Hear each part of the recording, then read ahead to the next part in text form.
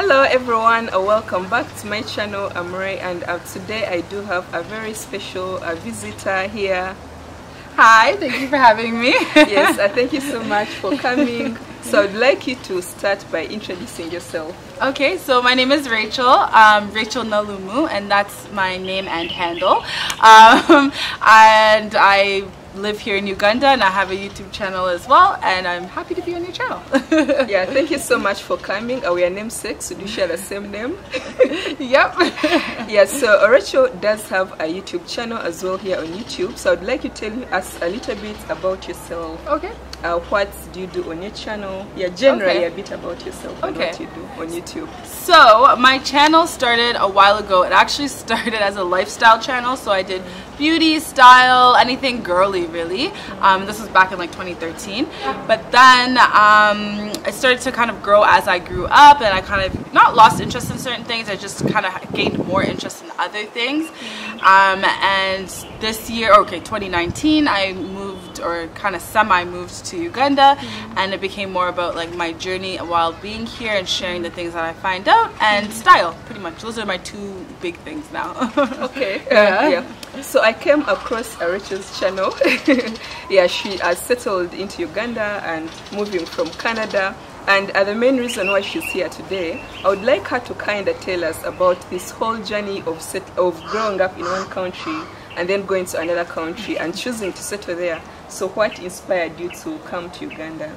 Yeah. You can also tell us a little bit about uh, growing in Canada. Literally okay. your journey, just tell us everything. Okay, yeah. so trying to think of how far back to go without like boring you guys. But um, okay. So obviously I well I wasn't born in Canada, but I went when I was a baby, so about like 2 mm-hmm. and so essentially my all my life has been in Canada.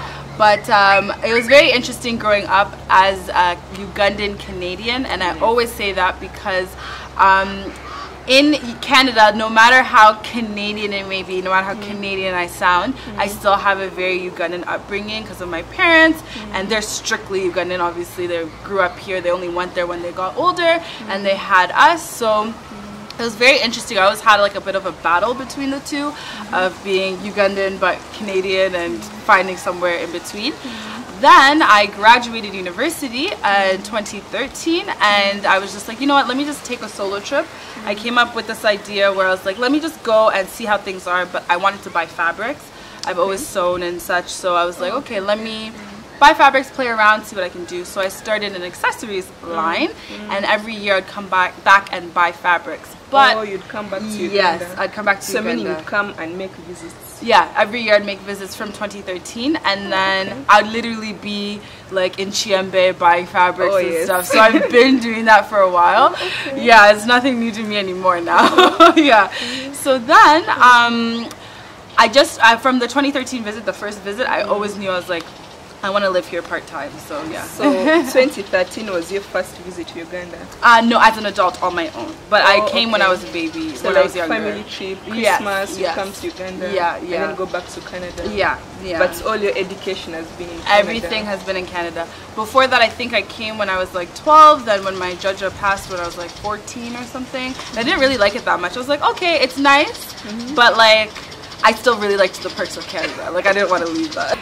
So you said you always came back when you were younger. Yes. Almost. Okay, not every year, but at least a good number of times. Yes, yes. So what like really gave you the inspiration to say I want to come and settle in Uganda?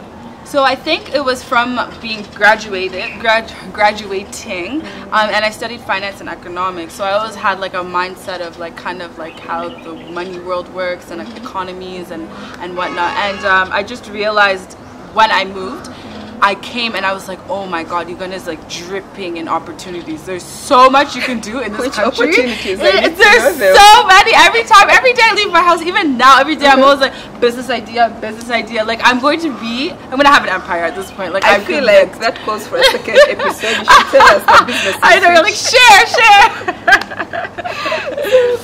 so you felt Uganda was full of opportunities. So many compared to Canada. Yeah, like, like yeah, it's a saturated market abroad, whereas mm -hmm. here it's like virgin. It's untapped. There's so much you could do. It's crazy. So here is the crazy thing. Mm-hmm. Ugandans leave Uganda, going abroad, saying there are very many opportunities abroad. no, they're lied to because when they're there, they always seem miserable. abroad are coming to Africa.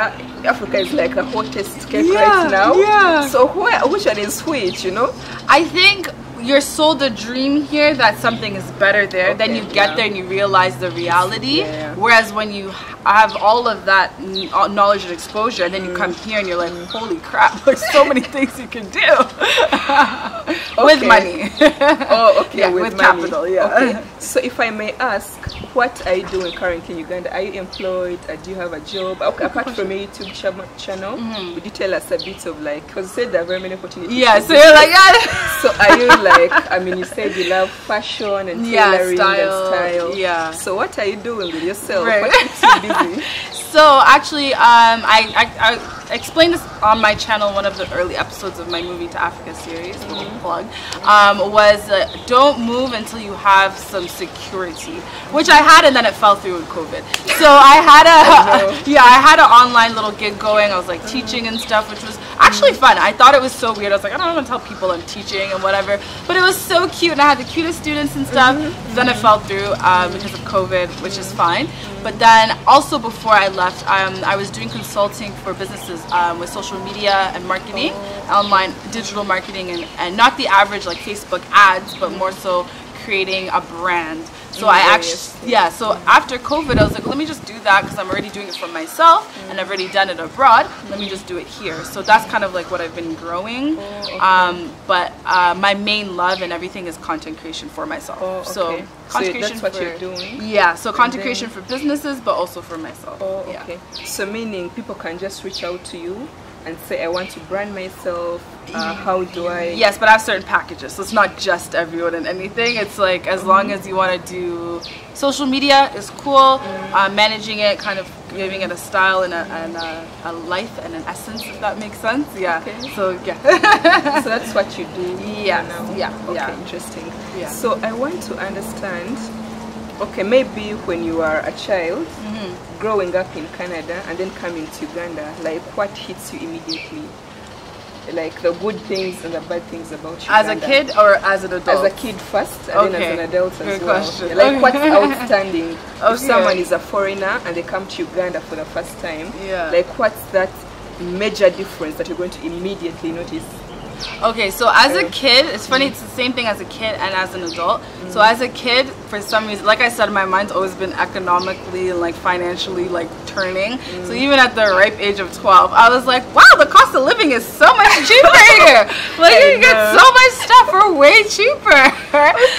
then as an okay. adult, it translated in understanding that um, because the cost of living is um, cheaper, Cheaper. or lo- lower, Okay, for less. you guys, Yeah, yeah, us. no, no, but like for us who've been abroad, Yeah. so as long as they're earning in dollars and spending Yeah, in yeah. shillings, it's cheaper. Um, and then I was like, okay, the quality of life that I can have is a lot better than uh, me doing exactly what I'm doing here, but in Canada. So like, if I can get a better life doing the same thing, I might as well just be here. What do you mean exactly by the quality of life? So in terms of a the t- the type of food that we eat here Oh, is way better. Okay. Way better for you long term, obviously. Um, it tastes better.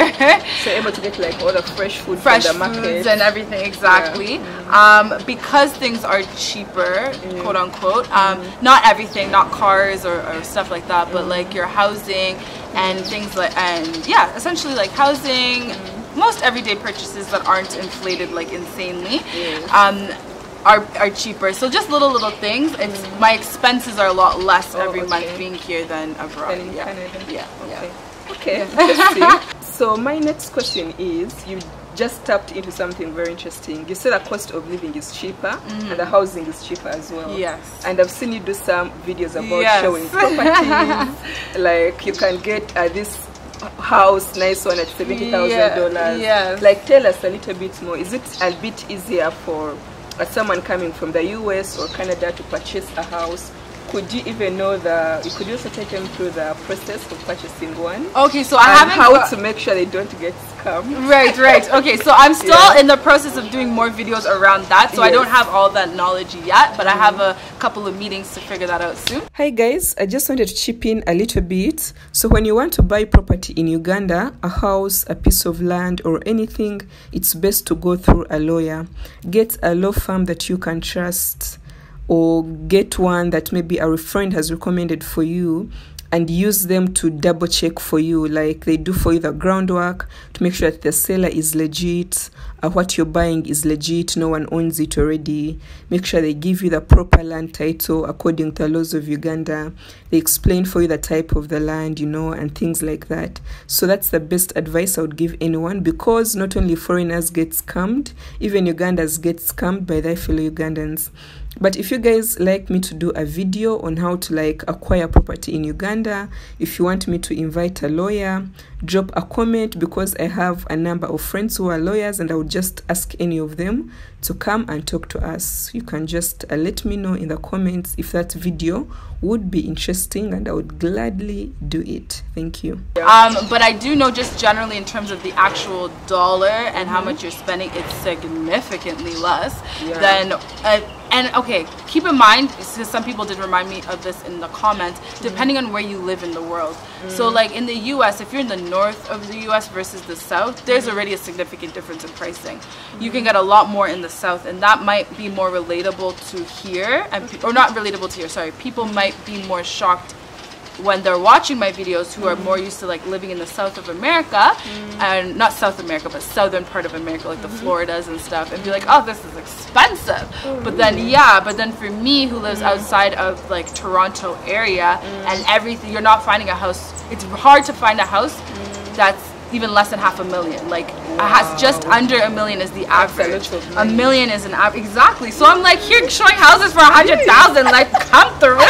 And people are like what I know, but so it depends on who you are and where you live. Exactly, yeah. Yeah. So I was going to say a hundred thousand dollars is quite a lot of money for a Ugandan. You know, For a that Ugandan, kind of money. yes, but for us, if you've made that money abroad and you're mm. coming in, it becomes way cheaper. Yeah, yeah. And you're able to get like a very nice huge House here, yeah. Hundred thousand dollars.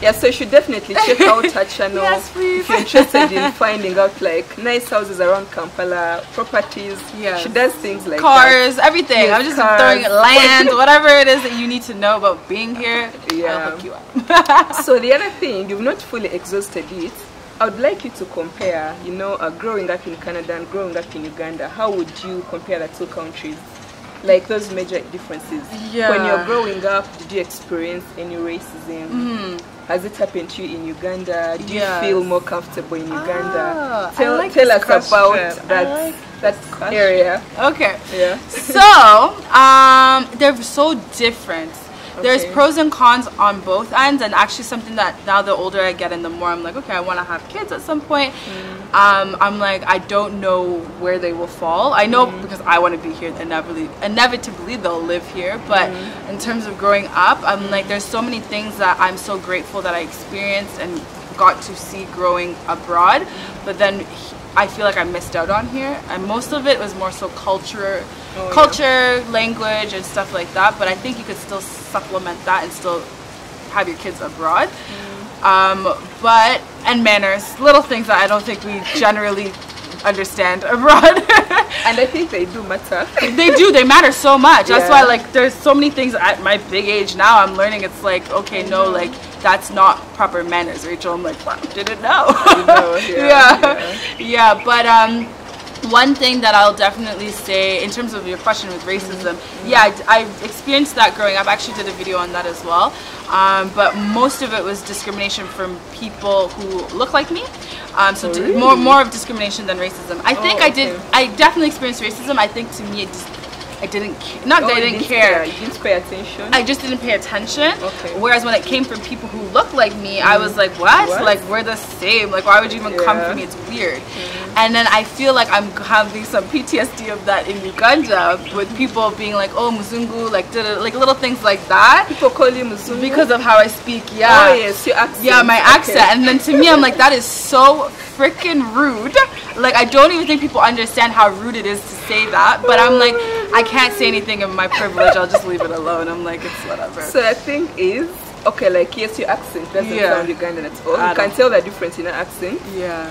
But uh, yeah, but people shouldn't tell you Muzungu. They should just say you have a Muzungu accent. That's yeah, that's okay. Like, mm. or when you sound white, because people used to say that to me growing mm. up because I grew up in a suburb, so it was all white area. Mm. So I don't sound like a typical black person would mm. from America or like Canada, but like mm-hmm. America or Canada. Mm. And I used to get made fun of for that. So it's like re going through going through that all over again now yeah. at my age and being like okay, let me deal with it internally.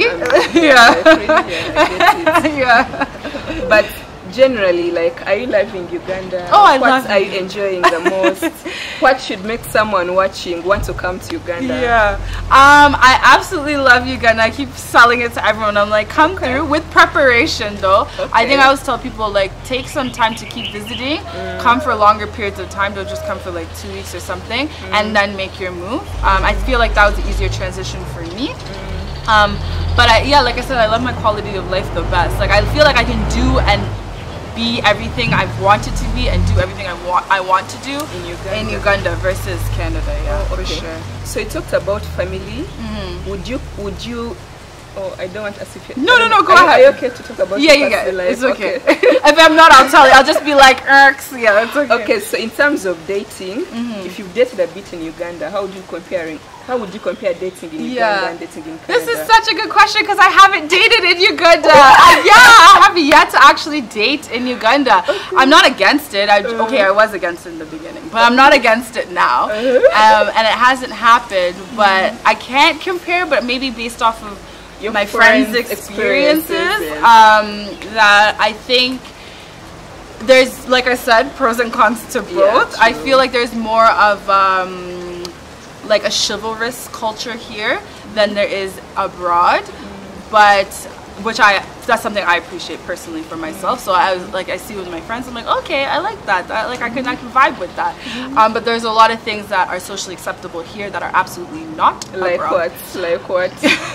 just behaviors of men and such. Oh, just, okay. Yeah, that's, that's I'll leave it at that. Yeah. So there's always there's a. but you're still open to dating in Uganda or dating anywhere. Um, mm. yeah, yeah, yeah. As long as it, they can take me as me, I'm not changing. So as long as okay. okay. so we're almost winding up. Have you been to any other countries apart from Uganda? Any other yes. African countries that you visited? Yes, mm. I'm just gonna mention them like when I was older. So mm. South Africa, but I didn't really experience much of it. I was only there for like a short period of time, so it was like in and out kind of thing. Mm. Um, Ghana, I went in December. Oh yes, yes. I, I didn't watch your Ghana vlog. Yeah, but, but yeah. I saw you be like, it was oh, I'm going to Ghana. Yeah, I was like, I'm, I'm ready. How is it in Ghana? I know like very many Ghanaian YouTubers just yeah. on YouTube, oh, not personally. Okay, okay. Yeah. Ooh, tell me about them after. Yeah. Um, so I actually really liked Ghana. I just felt like I didn't like the weather. It oh, reminded okay. me too much of Canada. Like when it gets hot in Canada, oh, you can't mm -hmm. go outside. It's so hot it's too humid, you can't breathe. Mm -hmm. But in Kampala or in Uganda, it gets hot, but you can still be outside and move. So that was one thing. Um, I felt I loved Ghana. Like I felt like okay. it was like where Uganda is headed in maybe like five years. Just mm -hmm. more to do, mm. more. Um, nicer restaurants, nicer places, that kind it's of stuff. Nicer than Uganda? Yeah, we have they have way more like classy restaurants, oh, cute okay, things. Okay. Yeah, that's like my kind of thing. Okay. So like, oh, I couldn't we couldn't even see all the things. Whereas if you're in Uganda, you can see and go everywhere in one visit. You, have seen so it. Ghana has a lot. Ghana has a lot. Oh, yeah, okay, yeah. Um, and the people, I felt like they're kind of similar to Ugandans. Like, like very friendly. Yeah, very friendly. I I thought they would be like a little bit more aggressive or whatever, given like West the African, West African like, stereotypes. Bit, yeah, yeah, yeah, But I also had a lot of Ghanaian friends in university, mm. and they were very similar to what I found there. So I was like, okay, cool. I can vibe with Ghana. okay, interesting. Yeah. So we're almost concluding. if someone wants to come to Africa, let's say any country, Mm-hmm. and they've grown up in the diaspora like you, they could be black, or they could be white, and maybe they just want to visit. Mm-hmm. Right. If anyone wants to settle in Africa but haven't grown up in Africa, what advice are you going to have for them? Okay. Like a few things they just need to have in place. Right, Yeah. before they come. Um, I would definitely say make sure you come with your finances situated. That's Okay. number one. That's always my number one. Whether or not if you, you follow it or COVID hits again for the second time, like in my case, um, that sucks. But definitely make sure you have that all situated. Um, and I, like I said, recommend people to come come and feel or test out wherever it is you're living before you kind of make Oh, that okay. plunge Yeah, just so that you true. yeah just because you Yeah, understand before the you culture make that final decision. yeah, because you don't want to just come with your ways and you're like, hey, I'm here, but you need to acclimatize to like where you're gonna be. Okay. So that's one thing as well, and uh, just have fun with it. Like literally roll with it. There's like I said, there's so many opportunities. So be open-minded while you're here. You might come and be like, I'm doing this, and might end up starting doing something else. Like just come being open-minded, but with savings. okay, so if I may ask uh, about the answer that you've given us, you do have friends and family in Uganda. Mm-hmm. yes, yeah. So do you think it is a bit easier for you because you have like people A already associate with? Yeah, Don't you think it would be more difficult for someone who doesn't know anyone? Well, that's what I was saying. Come and get acclimatized before you kind of just jump into it. So coming, granted, my friends really were my parents' kids' friends. Like it's like we all had known each other or seen each other from my visits and such. So because of my previous visits and becoming friends with these people who are not my friends, um, that's how I ended up having a network essentially. So I do know a lot of people abroad who are in the same situations that they know parents, friends, but they're not actually friends with them. Okay. So they didn't actually grow and have a network and get to know people and whatever. So to them, to come here would be literally to just throw somebody in water and be like, okay, go and swim. Yeah. Whereas for me, I, I was very cautious. I was like, no, I do want to be here. So yeah. Uh, so thank you so much. Oh, much. thanks for having me. This is fun. yeah, I thank you so much guys for watching. Please uh, check out Rachael's YouTube channel. I'm going to put the link to her channel in the description. Uh, she has amazing content. I, should, I like your videos because your editing is good. Like oh, you thank just do you. it I've so been well. trying. I've been trying. yeah, uh, I've watched a good number of her videos and they're quite uh, really nice. So make sure you check out her channel. Uh, drop a comment as well and I'll see you on the next video. Bye. Bye.